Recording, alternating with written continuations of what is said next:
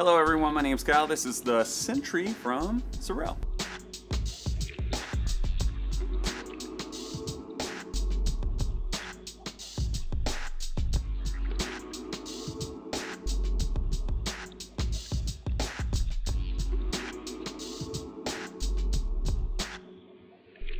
This shoe has a really tough vulcanization that comes all the way around to give you a ton of protection. You can see the water's going to channel right off that toe. Has a leather upper with reinforced triple stitching throughout and you are also going to get waterproof protection, seam sealed. Also a lace up that comes up high with a flat collar and a pull tab at the back with a really nice soft felt inner boot that feels great to help you to conserve heat. You have texture on the outsole as well that's aggressively done, durable, and you can see that it's flexible too.